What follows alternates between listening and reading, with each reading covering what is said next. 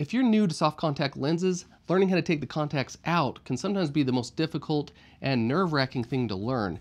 In this video, I'm going to show you exactly how to take the contacts out a couple different ways to make it faster and easier. Let's focus in. Hey, howdy everybody, this is Dr. Neil Gaiman, Dr. Eye Guy with the channel that's dedicated to keeping your eyes healthy and your vision clear. Now there are a couple of different things we need to do in order to get ready to take your contacts out. First off, wash your hands. You will be touching your eye, better to be safe than sorry, and dry your hands the best you can. Dry fingers will make this whole process a lot easier. If you wear extended contact lenses, two week lenses, or one month lenses, get your contact lens solution and your contact case ready to go. If you've seen my video about how to put the contacts in, the same struggles apply to taking the contacts out. And you're gonna use the same method you used for putting the contact lenses in. I usually tell people to use their non-dominant hand, reach over and grab the top eyelid and pull, and then the dominant hand using the middle finger to pull the bottom eyelid down. Now remember, you wanna grab the eyelids from the eyelid margin where the eyelashes are. If you grab too high and too low, you won't have enough room to actually get in there and take the contact lenses out. Now that we have the eyelids out of the way, we're gonna use our pointer finger and our thumb on the dominant hand to actually take the contacts out. And this is what you need to practice. You need to be able to make a tweezer-like motion with the pads of your thumb and pointer finger. You don't want to be using your fingernails or the tips of your fingers because you could accidentally scratch or damage your eye. Now with the eyelids out of the way, you're gonna take your fingers and you're gonna aim for the bottom third of the cornea, the bottom third of where that contact is at. Now when you actually touch the contact, make sure both fingers are touching the contact. And then you're gonna make your little tweezer motion and that's gonna grab the contact right off of your cornea. Okay, now here are the tips to make that easy. Kind of like when you put the contacts in, you wanna make sure that your eyes are staring straight forward, looking at yourself in the mirror.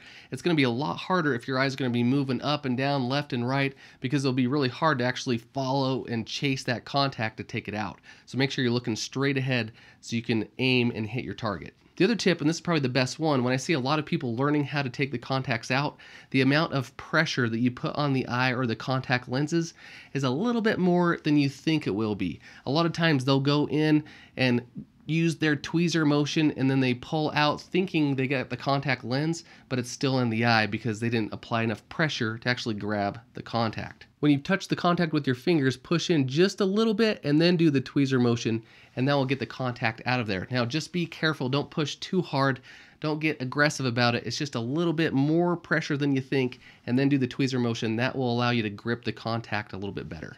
Now once you have the contact lens out, if it's an extended wear, two week, one month contact lens, now you can clean it and store it in the case. And here's another tip if you're having trouble using the tweezer method to get the contact right off the cornea. Hey, if you're new to contact lenses and this video is helping you out, definitely hit that like button for me. That tells me to make more videos like this in the future. A lot of people have a hard time feeling the contact lens or knowing where the contact lens is. Sometimes they'll be tweezing at their eyeball and not the contact and actually irritating their eye even more. So this is a way to actually know where the contact is and to kind of loosen the grip the contact has on the eyeball. For this way, before you use the tweezer method, you're gonna actually look up a little bit and you're gonna use your finger and touch right on the eye and drag down very, very gently. And make sure you touch right on the cornea if you can and that light pressure and drag down. This will drag the contact down your eyeball as well. Now this will do two things. This will loosen the grip it has on the eyeball and also give you a tactile response so you know exactly where that contact is. So let me show you this one. So you're gonna look up just a little bit use your pointer finger right on the cornea and drag down and you'll see your vision kind of warp a little bit and you'll feel that contact get pulled down. And then once you've pulled it down, then you can go in with the tweezer method and try and grab it that way. So let me show you here. I'm gonna look up, gently drag down, then go in with the tweezer method and then pull the contact right off. You can also use the same method and actually pull it to the side if that feels like it would be easier for you as well. For this one, you're gonna use the same process. You're gonna look off to the side instead of look up Make sure that you use your pointer finger right on the cornea and then drag the contact over to the side and then use the tweezer method. And then you can pull it right out. Now for people that have really long fingernails, it can be a little extra difficult to get the contacts out because it can be really hard to use the tweezer method. This way is not as popular, but sometimes it's the best way if you have really long fingernails, and that's to not even use the tweezer method.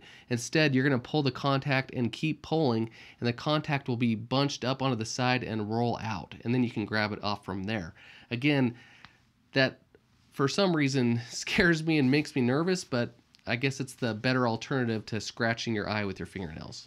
Now, just to answer a quick question that I get all the time, it is impossible for a contact lens to get stuck behind the eyeball. The contact can get stuck underneath the eyelid and around the front of the eye, and I'll have a separate video about how to get a stuck contact lens out of your eye, but just be assured the contact will never go behind the eyeball. If you want to learn more tips and tricks and more about contact lenses, definitely check out my playlist right there or one of my other videos right there.